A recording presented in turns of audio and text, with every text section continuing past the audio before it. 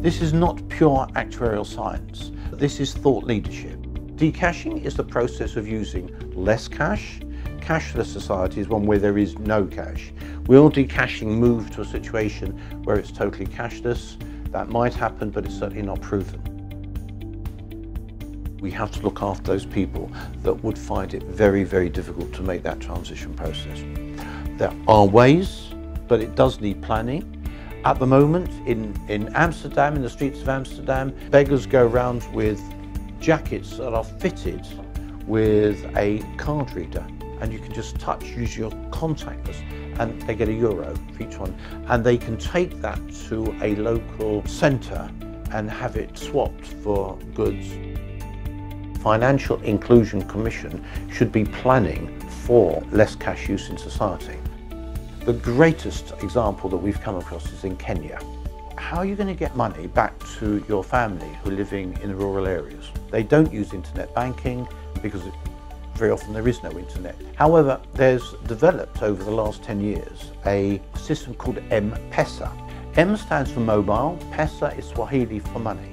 You can text anybody money and they receive it by text and it's suddenly opened up the whole of the economy. The public generally are in favour of maintaining cash. Now, for some members of the public, it's just a case of convenience. For others, we know that there are issues. If someone steals, comes to my house and steals a, a burglar, how he gets value out of that, almost certainly he's selling it for cash. The central banks might have too much control over your activities. All of a sudden, if there were no cash, the banks might be able to ratchet up the cost of handling transactions and the ability for government to know your every movement. There are many issues.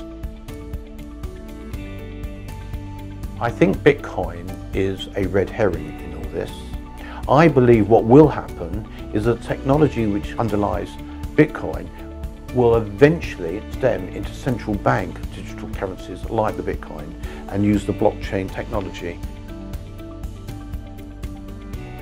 These are logical thinking people and um, their ability to, to hit problems that face this country or any country or globally um, actuaries must be in as good a position as any to apply their minds.